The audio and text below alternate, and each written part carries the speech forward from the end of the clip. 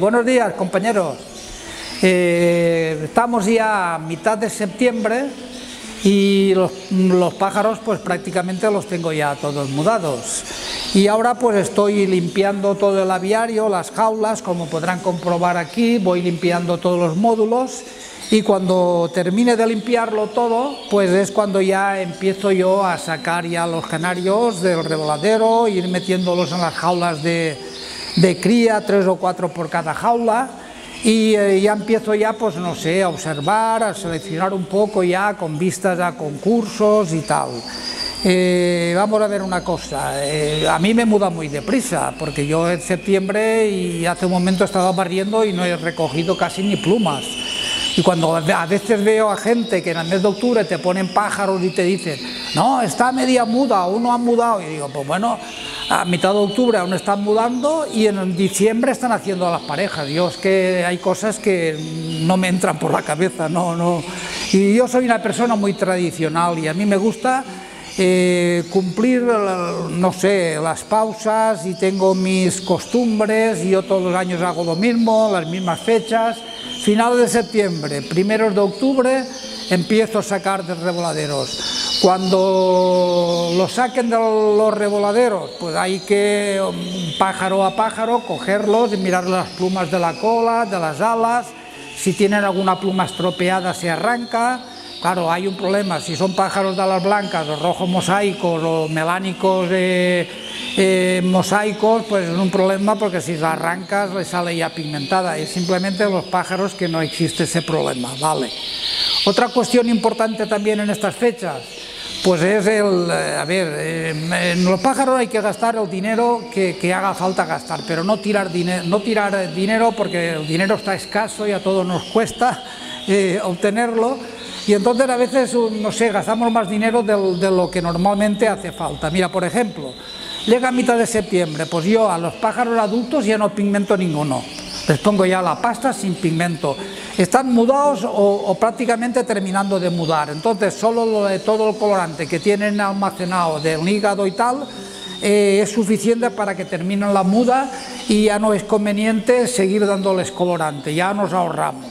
Luego, una vez empecemos a, sacar ejemplares, a sacar pájaros, eh, hay que tener en cuenta una cosa, y es que los que no tengamos que concursar, no hace falta ya ponerles colorante. O sea que ya en estas fechas, mitad, mitad de septiembre, tenemos pájaros que no van a concursar, porque son hembras, porque son pájaros que no hemos seleccionado para concursar, pues no hace falta tampoco darles ya colorante.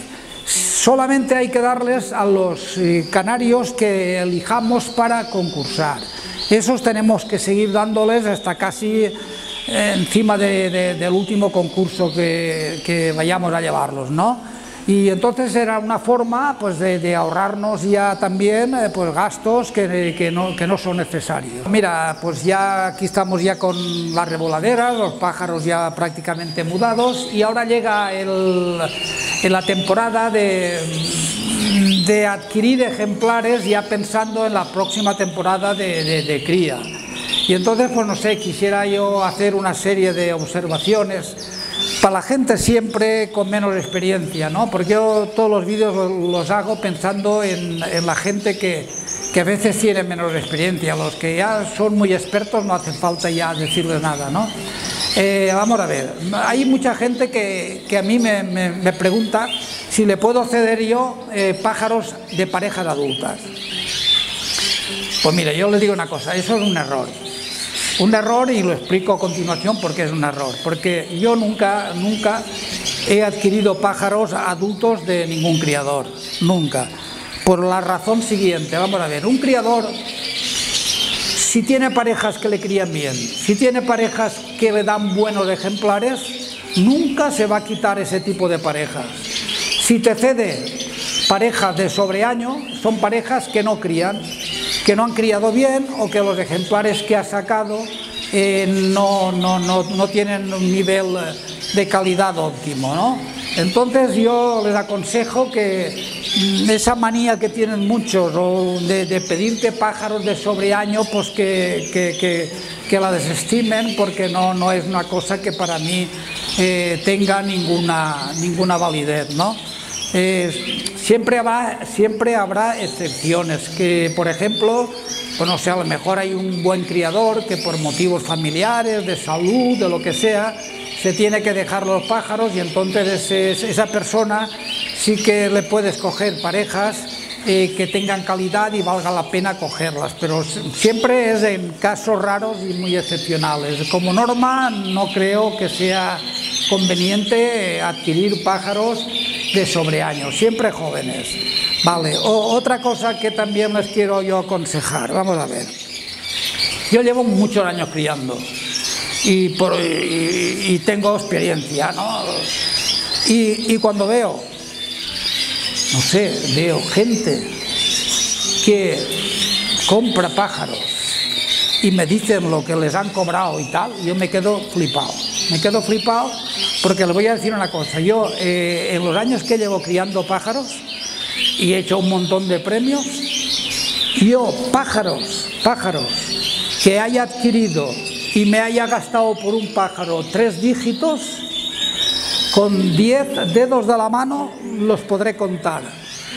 ¿Qué quiere decir? Que se pueden adquirir pájaros de calidad con gente, con criadores buenos, criadores, no sé, eh, que tengan cierta calidad de pájaros sin desembolsar esas cantidades. Yo a veces flipo, flipo y, me dicen que, le han comprado no sé quién y le, ha costado no sé cuánto. Yo digo, pero están locos o tienen mucho dinero, no sé.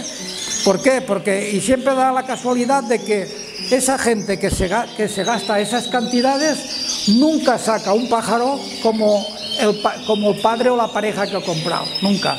Porque todo el mundo, la gente que lo sabe, eh, no se extraña de lo que voy a decir yo ahora. Y es que hay mucho, hay mucho fraude, mucha gente que manipula pájaros, y lo sabemos todos. Y sabemos quiénes son y tal. Yo no voy a decir nombres porque no, entonces lo que hay que hacer es saber qué personas manipulan pájaros y no comprarles pájaros a esas personas. Pero eso es una cuestión ya de cada uno. Yo digo lo que yo pienso, ¿no? Yo nunca me gastaría en un pájaro lo que se gastan muchos y, se creen, porque también hay otra, otra teoría falsa, y es que la gente eh, a veces califica a unos pájaros si son buenos o malos en función del importe que han pagado o, de lo que le han cobrado de las parejas. Pues es falso también. O sea que porque se cobre más de una pareja no quiere decir que sea más buena que otra que te cuesta menos. Simplemente hay que saber elegir a los criadores que vayan a adquirir pájaros y que sean personas normales, honradas y que no, y que no lo tengan esto como un negocio ni como una forma de especular ni nada. A cuenta de lo que estábamos hablando sobre los mosaicos, aquí tengo yo los mosaicos de línea hembra, podrán ver, ¿no? De línea hembra. Y, y, bueno, mira, yo he criado siempre mosaicos de línea macho, ¿vale? Yo criaba siempre mosaicos de línea macho, he criado muchos años y me gustaba mucho, hoy no, no me gustan, hoy no quiero criarlos. No es que no me gusten, ahora se lo explico por qué. Eh, yo llegué, en mosaicos de línea macho, llegué a hacer dos premios mundiales, uno en individual y otro en equipos, ¿vale? Y varios nacionales, en equipos y en individual y tal. Y me gustaba mucho y los criaba y tal. Y llega un momento, el año 2005 hice, yo creo que fue en Suiza, en Berna, creo que hice medalla de, de bronce en individual, en un rojo mosaico macho. Y llega al año 2006 y resulta de que esta variedad de rojo mosaico línea macho o sea, da un vuelco extraordinario. Que eso la gente que, que sabe un poco de selección y genética y tal, sabe que eso en un año no se produce. Y aparecen unos pájaros súper espectaculares, claro, primero y segundo. Al año siguiente vuelven los mismos criador y lo mismo. Luego de ese criador salen alumnos aventajados y ahora, ¿qué es lo que pasa? Pues están ganando los mundiales y siempre ganan los mismos, venden mm, los pájaros que, son campeones a otros criadores, criadores que se vuelven locos y pagan lo que les piden, y luego resulta que no sacan nunca un pájaro que valga una mierda, pero en esas palabras es que no vale nada. ¿Y, qué es lo que pasa? Pues yo viéndolo, viendo lo que veía, pues dejo de criarlos, dejo de criarlos, porque yo no entro, yo no voy a hacer ahora a mi edad y a cabo de tantos años cursillos de esteticien y tonterías por el estilo, ¿no? Los pájaros, eh, tal como son, concursan y no hay más, ¿vale? Y entonces ya, ¿qué pasa? Me quito los rojos mosaicos de línea macho y pongo rojos mosaicos de línea hembra. ¿Y qué es lo que pasa? Pues mira, eh, son pájaros muy bonitos, los crío en ojos negros y en ojos rojos disfruto, hago medallas nacionales, de mundiales y por lo menos pues disfruto. Y ya está. Entonces es lo que yo les recuerdo. Mucho cuidado con los pájaros que adquieran de por ahí, porque se van a gastar lo que no tienen a veces y luego no van a sacar nunca un pájaro como el pájaro que han comprado o han visto que ese criador ha presentado. Vamos a ver, ahora quiero hablarles sobre otro tema que veo también que, es un poco problemático porque la gente está, pues, está equivocada. Y digo que está equivocada no es porque lo diga yo, ni porque lo que voy a decir es porque a mí me gusta más ese tipo de pájaro que el otro, que esa tendencia que muchos criadores están detrás de ella y tal. Lo digo porque hay un estándar de enjuiciamiento de la OMJ o del colegio de COE o de FOC, de donde quieran que te pone el dibujo de lo que es el estándar, de lo que debe de ser un canario de color, la forma que debe tener un canario de color. Y entonces, claro, ahora ves eh, ciertos pájaros, sobre todo en blanco recesivo y en algunos rojos también y tal, y yo, mira, perdón, pido perdón para la gente que se pueda ofender un poco, pero yo lo digo porque la gente se está engañando. Eh, eso no son canarios de color, esos son con, conguitos. Si se acuerdan ustedes de cuando hacían ese anuncio de los conguitos en la televisión, redonditos, que parecían bolas, pues eso es lo que parecen los pájaros que hay ahora. Y le voy a decir una cosa, primero por el estándar, y luego también mm, en un grupo de jueces de color, no lo digo yo, ¿eh? lo dice eh, muchos jueces de color. Hace meses atrás pues salió uno y dijo, en un grupo de WhatsApp, ¿no creéis que estamos enjuiciando pájaros que no tienen nada que ver y premiando con lo que es el estándar de, la forma de un canario de color? Y empezó ahí la polémica y al final todos estaban de acuerdo, estuvieron de acuerdo en que era verdad.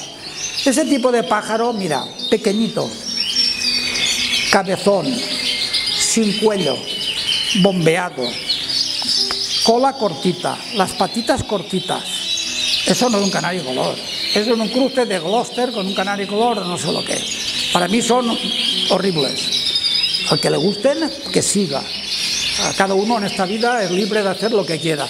Pero sí que está claro una cosa, que los jueces de color acordaron, por una, a última hora acordaron, de que había que cambiar la tendencia y ese tipo de pájaro penalizarlo. Lo digo porque habrá gente que a lo mejor se llevará una sorpresa eh, de ahora en adelante porque los jueces acordaron que, se deben de penalizar ese tipo de pájaro. Entonces, a mí me sorprende mucho, es que flipo. Y oiga, señor Colomer, yo quiero que me ceda una pareja de rojos dos, pero que tengan buena cabeza. Y yo digo, vamos a ver, que sepa yo, en la planilla de enjuiciamiento de un canario de color, no hay ningún apartado que diga cabeza 10 puntos, en ninguno. Es que no lo hay. Ahora, en, en Gloucester sí. Uno cría Gloucester, o cría raza española, o cría postura y te pone cabeza, porque te dicen cómo tiene que ser la cabeza de cada variedad de postura. En, en color no. Y vamos a ver, y yo me he pasado 50 años criando canarios, haciendo premios nacionales, mundiales, y no me he calentado nunca la, no me he calentado nunca ni, ni, he estado nunca pensando en que saquen una buena cabeza y que la cabeza la cabeza tiene que ser proporcionada al cuerpo. Si un pájaro pequeño tiene un cabezón es feo. Y si un pájaro grande tiene una cabecita pequeña feo. Proporcionado al cuerpo y punto. Y ven mis pájaros que hay por aquí y, bueno, y son pájaros normales, ni cabezones, ni tonterías, ni historias. Yo hace unos años, eh, en mi página web, pues escribí un artículo que se titulaba El Club de los Cabezones.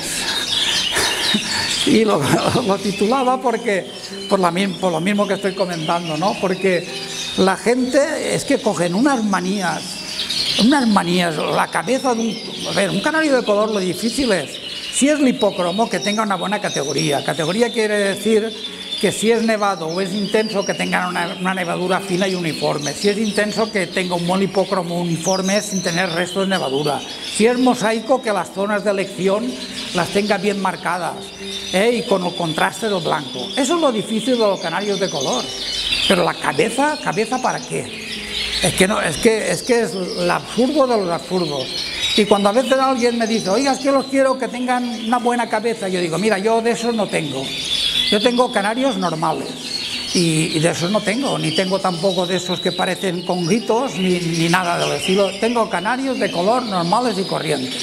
Y están incurriendo en un tremendo error que no les va a llevar a ningún sitio. A mí me choca mucho ver en grupos de WhatsApp, te pone uno, ¿qué te parece este canario? Aún está media muda, coño, pues si está media muda, déjala que termine de mudar no lo cojas y cuando termine de mudar lo pones y entonces ya se puede hablar. Eh, y, cuando los demás opinan de ese pájaro que pone el compañero, lo primero que dicen, qué buena cabeza tiene, joder macho, qué buena cabeza, pues si la cabeza no tiene ninguna importancia en un canario de color, lo que tiene importancia es, si es, un pájaro melánico, tiene importancia la categoría.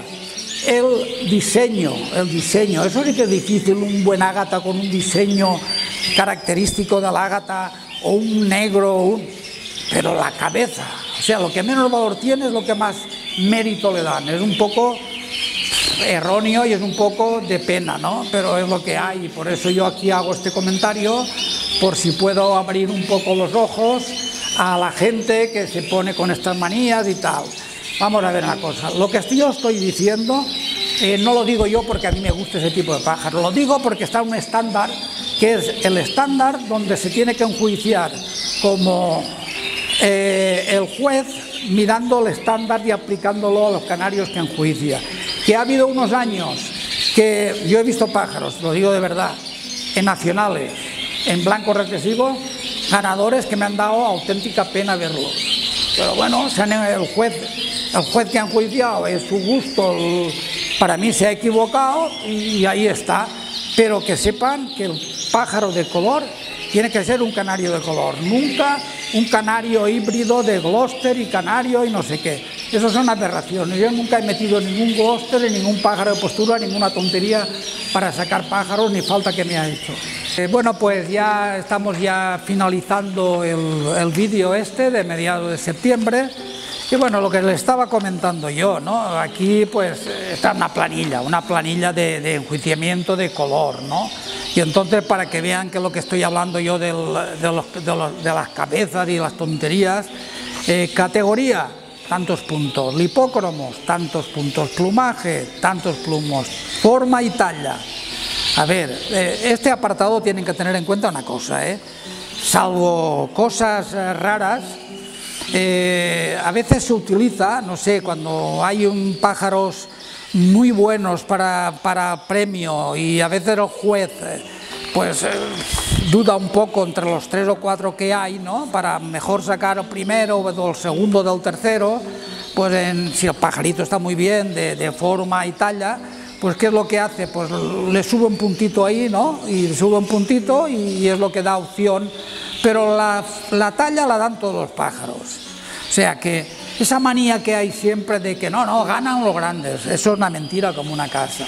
Yo he tenido pájaros grandes, un poco grandes, medianos y un poco más pequeñitos. Ah, están dentro de la medida que, que, marca el, el colegio, el estándar, y me han sido campeones del mundo, un pájaro más pequeñito pero precioso, otro mediano y otro más grande, y ya está. Y entonces la, la talla la dan todos los pájaros. Yo creo que un juez que penalice la talla de un pájaro, se dan muy, muy raras excepciones, ¿no? Casi siempre es la forma lo que domina más. Posición y salud y limpieza. Ahí no hay ningún apartado de que ponga cabeza 10 puntos. Y entonces, ¿por qué tanta tontería en la cabeza y la cabeza? Ponen en WhatsApp un pajarito Y en vez de decir, oye, qué hipócromo más bonito, o qué diseño más bonito, o qué tal, o qué categoría, no, qué cabeza más, más pero cabeza para qué, no aprovecha para nada. Pero bueno, lo que hay, la gente al final tiene sus manías y, y por eso yo trato en estos vídeos, por lo menos a la gente que tiene, que tiene menos experiencia, que no se, eh, se meta ahí con, con, esas manías y manías y pierda el tiempo que no le va a llevar a ningún sitio. Porque yo es que yo he hecho las parejas toda la vida, he criado pájaros toda la vida y es que la cabeza pues posiblemente sea lo que menos he mirado de un pájaro, ¿no? he mirado pájaros con una cabeza proporcionada al cuerpo y normal y nada más, y no hace falta nada más. Y luego, pues bueno, ahora estamos en, en unos momentos em, creo que muy críticos, me sabe mal decirlo, pero estamos en unos momentos muy críticos de la ornitología deportiva y si ya no tenemos bastantes enemigos, ¿no? bastante gente que quisiera cargarse esto, ¿no? Políticos, ecologistas y toda la leche que hay detrás, pues ahora faltaba dividir eh, a, los, a los criadores, dividirlos. Y parece ser que los tiros van por ahí. Bueno, pues no sé, yo deseo que, que al final las cosas eh, no se tuerzan, que al final reine la armonía, el compañerismo, porque yo el único interés y lo único que me preocupa es que sigamos todos juntos y que no haya divisiones, porque ya tuvimos las nuestras hace muchos años con la FOCDE y la COE, que aquello fue una pena, pero bueno, eh, a mí no me preocupa. Yo nunca, no podrá decir nadie nunca que le haya preguntado yo si es de FOCDE o de COE, nunca. Lo importante es que somos aficionados, que nos gustan, somos compañeros y disfrutamos del hobby este nuestro. Eso es lo más importante y es lo que espero que al final pues esté por encima de todos los intereses que hay, de todas las divisiones y que estemos todos juntos, que podamos disfrutar y al mismo tiempo defender lo que a todos nos gusta, que si no estamos unidos y fuertes, si no nos defendemos lo que a nosotros nos gusta, no nos lo va a defender de fuera nadie. Vale, pues muy buenas y hasta el próximo vídeo.